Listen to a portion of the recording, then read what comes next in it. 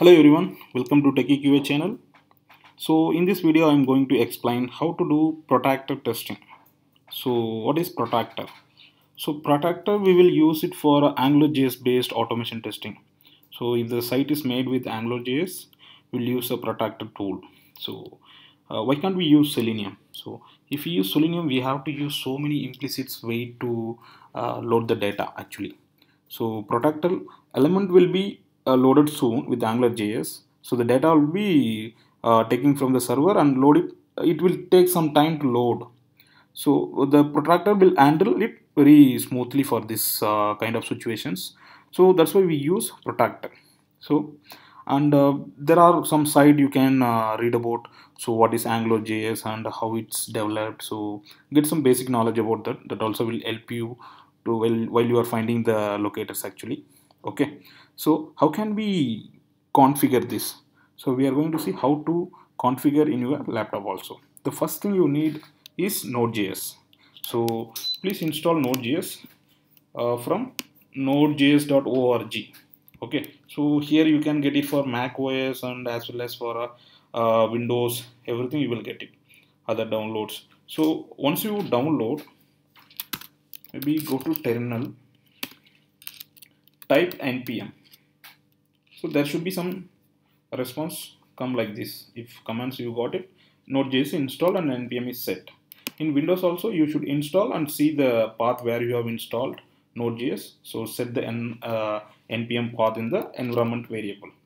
Okay. So once you've done this you have to install protractor. Okay. So protractor see here is the website protractor test.org okay. So now what you can do just go to home. So you can see some sample project all these things. So here i'm going to show live how to do it. Okay. So npm install minus g. I want to install globally. So minus g. Protractor.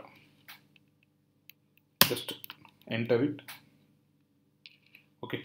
So it's downloading all the required things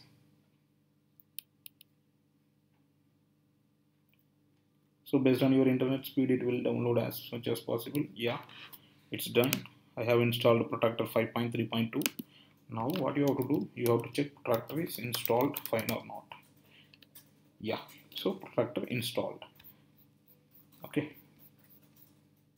So this is how we can install protractor and uh, there is one more thing what you have to do webdriver manager dot update. So you should update WebDriver manager.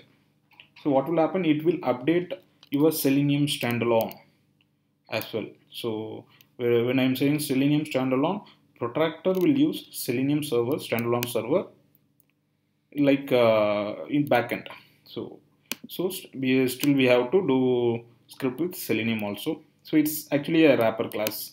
Uh, they have written in Protractor see it's updated Gecko driver you can see Selenium server. So even you can see Chrome driver here. So whenever you run some command just see the response what's happening. So in future uh, you will get to know what is the use of these commands. Simply don't copy paste and do just read about it. So now what you have to do you have to start. So once you start the protractor server is started. Okay so thank you guys. So next video i will show you how to create a script with protractor. Please subscribe if you like it